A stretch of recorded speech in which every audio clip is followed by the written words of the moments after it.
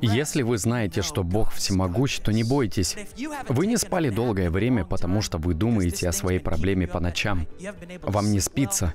Вы знаете, как вел себя Петр перед тем, как предстать перед Иродом. Апостол Петр спал между двух воинов в тюремной камере. Привет, я Пол. Почти 10 лет назад мой папа, мой герой, мой пастор, неожиданно скончался. Он построил крупную церковь и оставил на нас большую ответственность. Когда он умер, я потерял не только отца, но и веру, цель и будущее. Но Бог пришел, восстановил мою веру и дал мне послание надежды, чтобы я мог делиться ним с вами.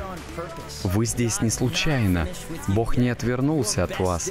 Ваши лучшие дни ждут вас впереди, и вы победитель в жизни, потому что в вас живет Иисус. Откройте первую главу послания Колоссянам. Да, мне нравится перевод послания. Откройте первую главу послания Колоссянам на экране. Мы посмотрим на сего сына, и видим невидимого Бога.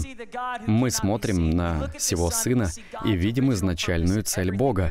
Ведь абсолютно все, что на небе и на земле, видимое и невидимое, включая все ангельские чины, все началось в Нем, все началось в Иисусе. Павел говорит о том, что все началось с Иисуса, и что Он является целью всех живущих. Он был еще до того, как Отец сотворил всех людей. Бог не ломает голову над вашей проблемой. Ваша трудность не является самой первой трудностью в практике Иисуса Христа. Он решает проблемы давно. Он был еще до того, как появилось все. Христос держит все творение под контролем. Он держит весь мир в своей руке. Он держит весь мир в своей руке. Он держит весь мир. Он держит весь мир в своей руке.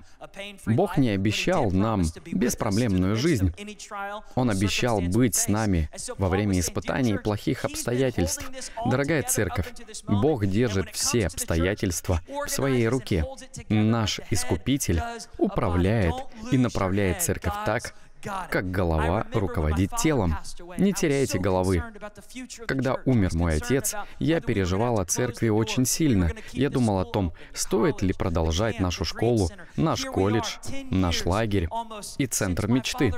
Со дня смерти отца прошло уже почти 10 лет, но церковь продолжает жить, и она сильна. Колледж работает, школа работает, центр мечты работает. Мы открыли новые лагеря, и мы продолжаем служить жить детям летом. Я не понимаю этого, но все под контролем Бога. Я не понимаю это, но если бы переживал, то я пропустил бы волю Бога. Ученики сидели в лодке вместе с Иисусом. Откройте Библию. Это четвертая глава Марка. Они перенаправлялись на другой берег, и Иисус сказал, «Давайте послужим людям». Они были с Богом, и казалось, что все хорошо пока не начался шторм. И так это была не просто буря. На море начался настоящий ураган. Апостолы испугались, они кричали, «Бог, ты где?» «Я думал, ты будешь с нами». Мы ведем себя, как они. Мы бегаем, как курица, которой отрубили башку. Очередной финансовый кризис. Что же делать? Смотрите, мы берем ситуацию в свои руки, сами того не понимая. Прочтите 38 стих. Иисус был с учениками посреди шторма, Он спал. Он отдыхал, апостолы трудились, а Иисус отдыхал. Ученики разбудили Его, а Он отдыхал.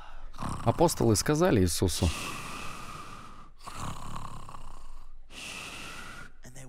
«Учитель, почему тебе нет дела до того, что мы погибаем?»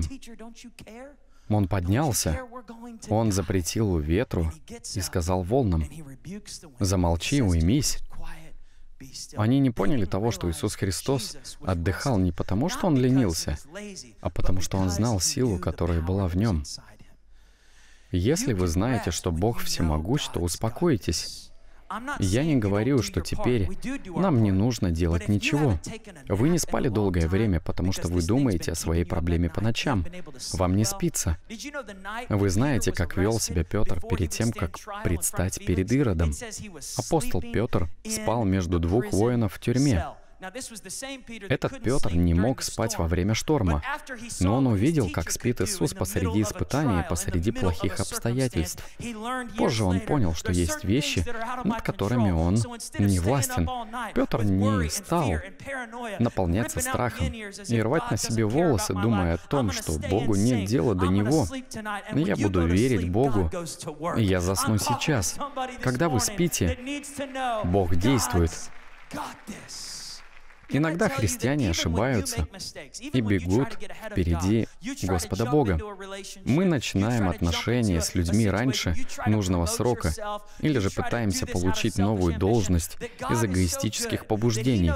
Но Бог так добр, несмотря на нашу нетерпеливость, Он исправляет наши ошибки и исполняет свою волю. Не пытайтесь контролировать обстоятельства и верьте в то, что Бог контролирует все. Что заставляет вас сомневаться в том, что Бог всемогущ? Что управляет вами и дает вам чувство покоя и мира? Что руководит вами? Страх или вера? Переживаете ли вы или поклоняетесь, когда поете Богу? Что заставляет вас действовать? Давление или Божий мир? Что побуждает вас торопить события и бежать посреди Бога? Бредовые идеи, последования и ревности. Отдаете ли вы жизнь Богу в молитве? Павел пишет, в четвертой главе сказано, «Дорогая церковь, не тревожьтесь ни о чем, но всегда в молитве и прошении открывайте свои желания перед Господом Иисусом. Делайте это благодаря Бога. Церковь, прекратите вести себя так, будто Бог не владеет ситуацией. Запишите следующую мысль. Наши сомнения — это одна из причин, по которой мы бежим впереди Бога и пытаемся контролировать свою жизнь. Когда мы слышим сомнения, мы начинаем верить в них. Поэтому сомнения преувеличивают факты. Дьявол не великан. Туман нависает над городом. Туман впускается и покрывает километры и километры городской территории. Этот объем тумана умещается в маленький стакан с водой. Этот туман вмещает в такой стаканчик, и при этом он покоится на небосводе. Наше сомнение преувеличивает факты. Гляв не так велик, как мы думаем. Он не трехметровый, он шестиметровый. Проблема не решится, у нас не будет детей. Бог не сможет решить проблему моего сына. Итак, перестаньте прислушиваться прислушиваться к своим сомнениям. Начните думать о том, что Бог всемогущий. Он глава церкви. Господь сильнее рака. Он сильнее развода и лейкемии. Господь сильнее синдрома Дауна. Он сильнее вашего бесплодия и неспособности оплатить счета. Он поможет вам оплатить за учебу в колледже. Не думай о проблеме, но напоминай себе, что Бог победит мои долги. Бог сотворил Адама. Библия говорит, что Он создал человека из пыли. Он произвел всех от Адама. Бог творит все из ничего. Если жизнь превратилась в руины, то Бог восстановит ее. Бог делает это, но мы не видим этого. Мы не видим Его работу. От одного человека Он произвел всех, чтобы они заселили землю, на которой Он определил время для всех. Скажи, определил время. Бог повысит тебя в свое время. Библия говорит, не уставайте делать добро. Если мы не прекратим делать добрые дела, то настанет время, когда мы соберем жатву спасейного. Когда мне было 19 лет, я сидел в часовне. Я видел, как я проповедую. До этого я не проповедовал на сцене. Я подумал, что это видение — пришло не от Господа. Это плод моих фантазий. Очень странно то, что я хочу этого. Я видел, как я проповедую. Бог сказал, я хочу, чтобы ты поступил в университет. Я ответил, я не занимаю духовную должность, и поэтому я не могу поступить туда. Я наводил чистоту в университете. Я мыл тарелки и убирал мусор. Но Господь сказал мне, начни служить. Бог меня не примут туда. Ты поступишь туда, ответил мне Бог. Я согласился. Бог, я услышал тебя. Я хочу, чтобы ты любил людей и служил им. Открой свое сердце для них. Обними и поддержи брата, и помолись за него. Если кому-то потребуется ресторан, чтобы набить желудок, то купи им ее. Иногда служение состоит из молитвы и угощения. Твой характер важнее твоей профессии. Изменение сердца важнее, чем разрешение ситуации и Божье благословение. Бог рад тому, что ты пришел в церковь. Он рад лишь тому, что ты пришел сюда. Я стоял у задней двери часовни и жал руки людям. Я служил им. Однажды я гулял в городке для студентов. Святой Дух сказал мне, «Перейди через дорогу». Мы еще не построили это здание. Здесь находилось поле, на котором мы играли в футбол. Школа стояла рядом, церковь стояла возле центра. Мы только что начали строительство здания церкви, и здесь лежала бетонная плита. Мы могли бы увидеть Открытое небо и звезды. Здесь не было стен, потолка и сидений. Здесь стояла лишь бетонная сцена. Это было ровное место. Однажды я пробегал здесь. Я сел на сцену и увидел руки молящихся. Бог сказал мне, однажды ты будешь проповедовать на этой сцене. Я сказал, я не буду. Я не буду. Бог сказал тебе, нужно приготовиться для этого. Я не знал то, что Господь Иисус подарил мне видение. Это видение сбылось только через 10 лет. Я начал понимать его только 10 лет спустя. И я просил Господа забрать это видение. Одним Бог дает видение, о котором они помнят. Оно задерживается, и люди унывают. Бывают случаи, когда ты исполняешь видение, но не тогда, когда этого хочет Бог. Я не знаю, для чего Бог подарил мне это видение — я начал служить студентам каждую неделю. Я смотрел на тех, кто проповедовал здесь. Но сам я не проповедовал. Я сказал, Бог, я не хочу вспоминать о видении.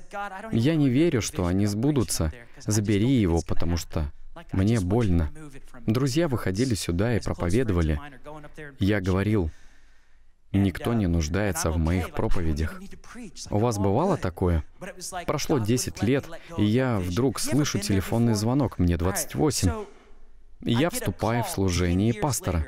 Мне звонят и говорят, приезжай и проповедуй в часовне.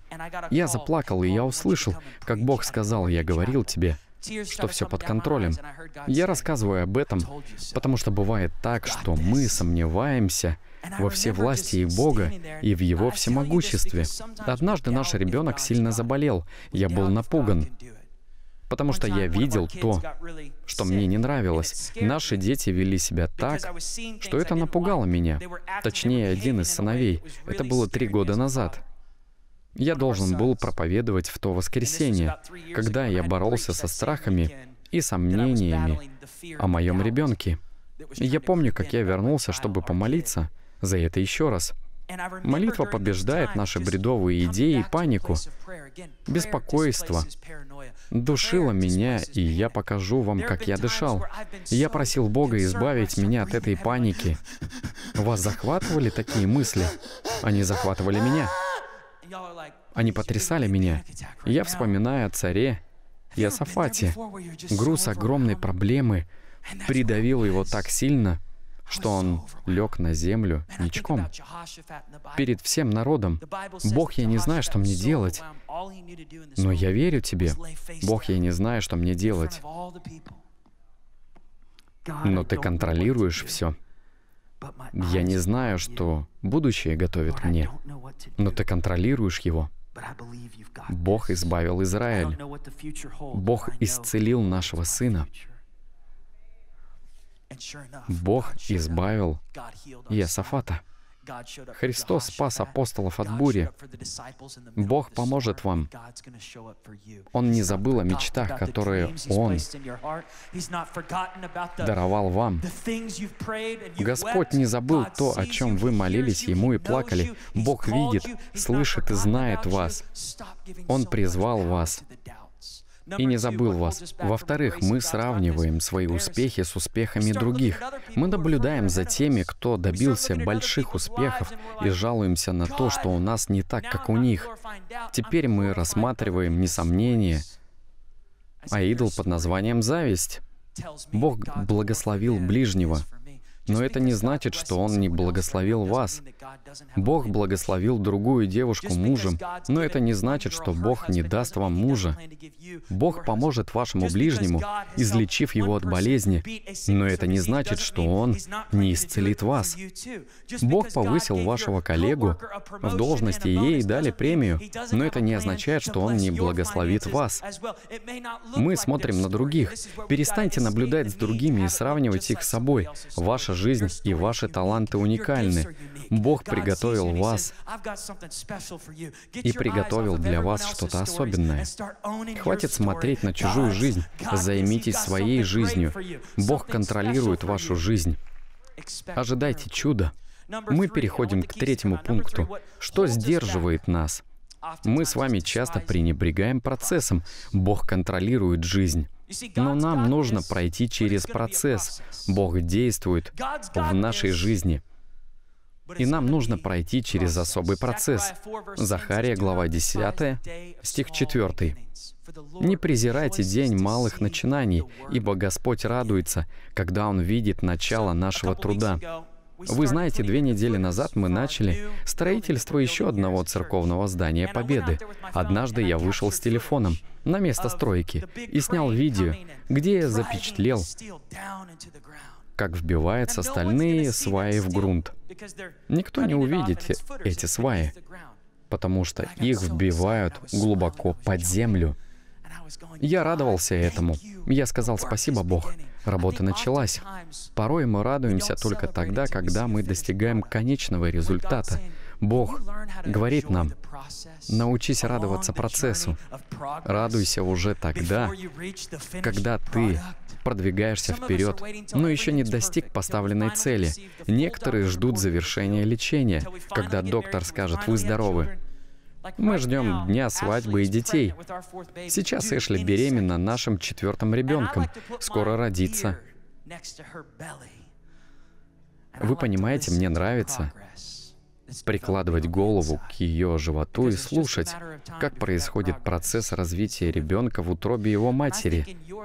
Этот процесс развития нашего ребенка скоро закончится. Я слышу, как вы развиваетесь в Боге. Я слышу это. Изменение сердца важнее, чем разрешение ситуации и Божьего благословения. Пол, я не достиг нужной цели, я не сдвинулся с места. Но вы служите у входа церкви, вы подбираете мусор и учитесь прощать и радуетесь процессу. Это намного прекрасней, чем быть на сцене. Да, сцена — красивое место, но смысл не в сцене. Наслаждайся процессом. Мы развиваемся ли мы согласно призванию нашего Господа? Надевает ли церковь маску на себя? Когда мы изменяемся, то это хорошо. Я рос у вас на глазах пять лет, и вы терпели мою незрелость. Спасибо вам. Бог советует вам научиться радоваться каждому дню своей жизни, не пренебрегая этими днями. Пол, я дворник, и я еще не на сцене. Я подбираю мусор. Я учусь в колледже, но пока ничего не изменилось. Пол, я слышал историю о том, как брат исцелился. Бог не исцелил меня. Я услышал, как Бог освободил брата от зависимости, но Он не освободил меня. Бог рад тому, что ты пришел в церковь. Он рад лишь тому, что ты пришел сюда и твоему желанию освободиться. Поверь в то, что Бог не забыл о твоей проблеме. Поверь в то, что Бог исцелит твою семью. Бог любит смотреть на начало.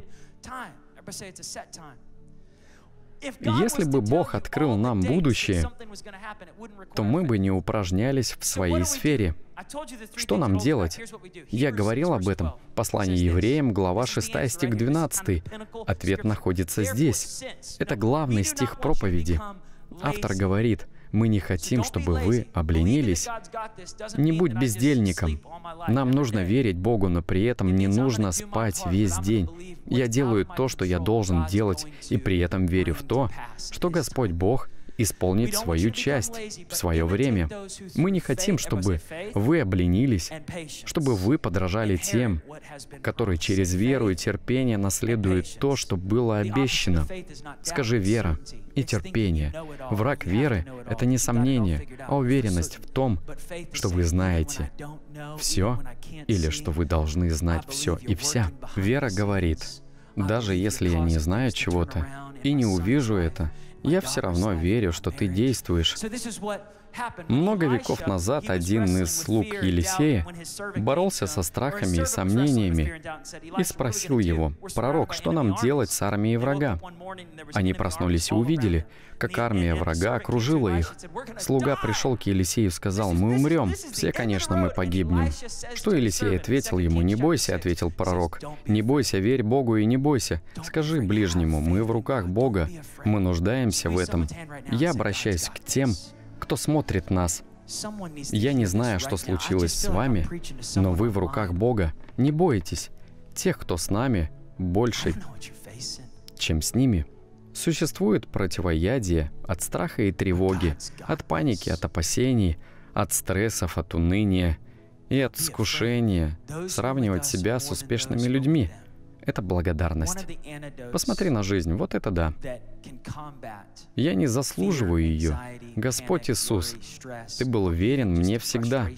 Ты такой добрый, Ты заботишься обо мне.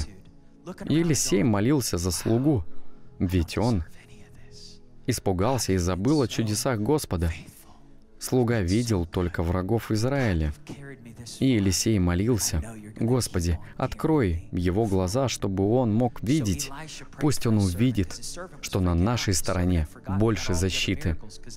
После этой важной молитвы Господь открыл слуге глаза, и он посмотрел и увидел, что вокруг пророка Елисея по всей горе были огненные кони и колесницы. Слуга понял, что сам Творец и Владыка ангельских сил явил себя ради них. Господь освободил их. Павел молился о церкви в Ефесянам. «Я молюсь о том, чтобы у вас открылись глаза понимания, и тогда вы познаете надежду, которой Господь призвал вас, и богатство Его, словно наследие. Вы познаете Его великую силу верующих. Бог Отец воскресил Иисуса Христа из мертвых этой силы и посадил Его справа от себя на небесах. Он посадил его выше начал, властей и господств. Он сделал его. Имя его выше всех имен, и не только в этом веке, но и в будущем веке. Небесный Отец покорил под ноги Иисусу все. Послушайте, ваша проблема лежит под его ногами. Я хожу в победе, и мой враг лежит под моими ногами. Так говорит Библия. Это истина, и вы можете верить в нее твердо. Проблема побеждена. Я молюсь, чтобы Бог открыл вам эту истину и напомнил, что Он продолжает спасать вас. Лучшие дни ждут вас впереди. Я обращаюсь ко всем зрителям. У Бога есть план для вас. Библия говорит, что у нашего Господа есть прекрасный план для нас. Он на благо, а не на зло. Бог дает надежду и будущее. У Бога есть план для вас. Несмотря на плохие события, помолитесь со мной. Возможно, вы проходите через трудный период сейчас. Возможно, вы болеете. Возможно, бессонница и напряженность мешает вам отдохнуть. Вы проходите трудный период. Помолитесь со мной. Иисус, я отдаю жизнь Тебе. Я принадлежу Тебе. Пусть будет Твоя воля. Прославься в моих мыслях, в моих словах и в моих поступках. Помоги мне исполнить слово, которое я услышал во имя Иисуса. Аминь. Я верю, что Бог укрепит вас и поможет вам после этой молитвы. Он поможет вам исполнить истину, которую вы услышали. Мы любим вас, и мы молимся о вас. Спасибо, что вы смотрите нас и поддерживаете наше служение. Огромное вам спасибо. Вы дороги нам. Друзья, ваши лучшие дни ждут вас впереди.